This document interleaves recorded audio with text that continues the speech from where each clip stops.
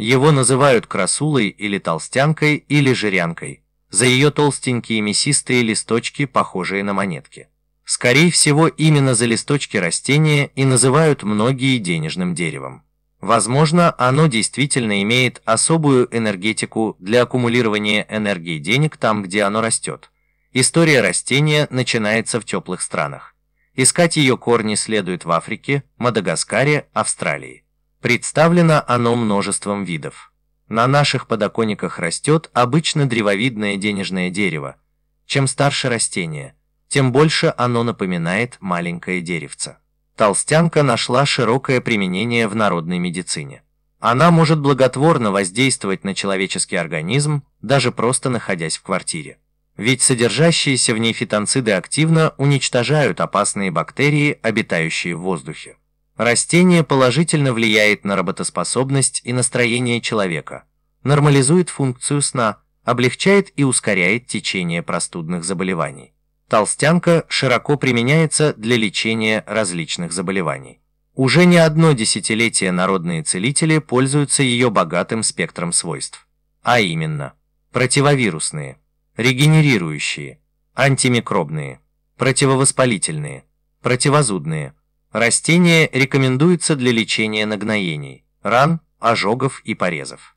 Кашица из листьев и сок цветка – способствуют ускорению восстановительного процесса и обеззараживанию травмированного участка тела.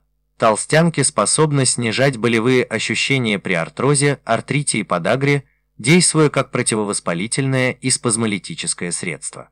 Люди, подхватившие простуду, успешно избавляются от чувства заложенности носа и дискомфорта в горле благодаря составам из сока растения.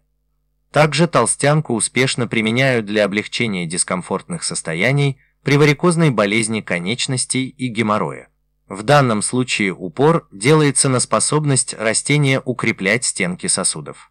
В первом случае успешно используют спиртовые настойки, а во втором – мази на основе кашицы из листьев. Существует множество рецептов из сока и листьев этого полезного растения. Вот самые распространенные из них – при ангине и зубной боли. Сок толстянки отлично подходит для борьбы с различными стоматологическими проблемами. С этой целью готовят следующий целебный состав. Сок 10 листиков толстянки смешивают со стаканом теплой воды. Полученным снадобьем полощут ротовую полость до 5 раз в день.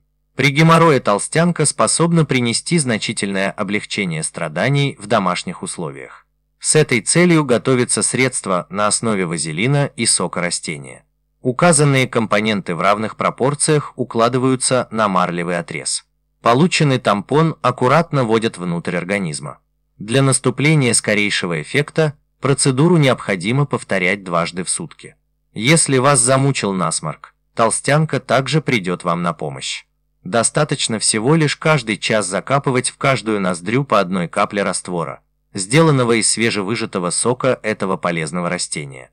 Просто разведите его с водой в соотношении 1 к 2, и вы очень быстро избавитесь от надоедливого насморка. Оставайтесь с нами, подписывайтесь на канал и будьте здоровы!